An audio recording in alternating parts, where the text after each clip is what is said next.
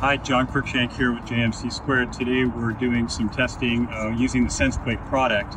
Uh, we're actually at the tallest structure ever being tested at the UC San Diego shake table.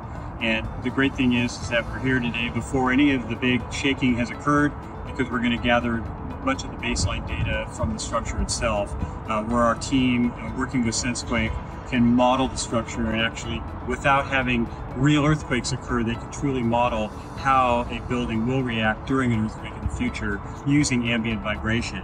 So what we've got here basically Here's one of our sensors that's in the corner of this uh, the building structure. We're on the roof level. There's 11 levels actually, counting the basement. And what it's doing is it's gathering 15 minutes of ambient vibration, which basically means uh, the vibration that's gathered either through the structure based on it could be trucks driving by, the wind loads, minor seismic loads. And so uh, we use the software basically as simple as using a tablet or your handheld device. And uh, each test lasts about 15 minutes, like I said, and you could gather a fairly significant structure within a day's time.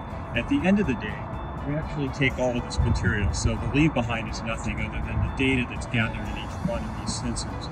And then from there, that goes to the modeling software, and then that's where the magic begins And we can really understand how a structure is going to react and see if there's any defects in the building. And if you're doing a seismic retrofit job, you can understand the building with real data so that you can cut down on the cost and actually increase the functionality of that seismic retrofit. You're giving yourself the real stuff, not, not any as-built, not any theoretical. So that's why we love this product.